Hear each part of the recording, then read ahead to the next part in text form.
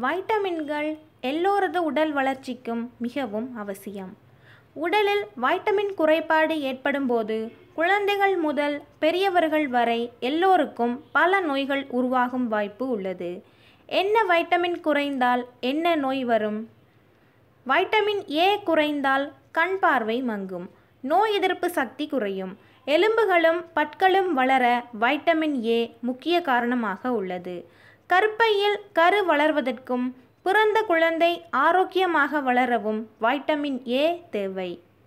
முருங்கைக்கீரை பச்சை காய்கறிகள் வெண்ணெய் முட்டையின் மஞ்சள் கரு ஈரல் மீனெண்ணெய் ஆகியவற்றில் வைட்டமின் ஏ அதிகம் உள்ளது. வைட்டமின் பி குறைந்தால் வயிற்று மந்தமும் அஜீரணமும் இரத்த சோகையும் வாய்ப்புண்ணும் ஏற்படலாம். பக்கவாதம் இதய பாதிப்பு ஏற்படவும் வாய்ப்புகள் அதிகம். கைக்குத்தல் அரிசி இறைச்சி முட்டை காய்கறிகள் ஆகியவற்றில் வைட்டமின் பி அதிகம் உள்ளது. வைட்டமின் சி சத்து குறைந்தவர்கள் மன அமைதியை எழுப்பார்கள்.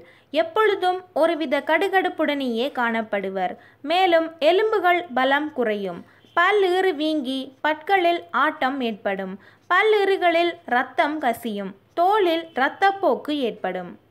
ஆரஞ்சு பழம் திராட்சை சமைக்காத பச்சை காய்கறிகள் நெல்லிக்காய் எலுமிச்சை தக்காளி கொய்யா உருளை வெற்றிலை பப்பாளி ஆகியவற்றில் வைட்டமின் சி அதிகம் உள்ளது.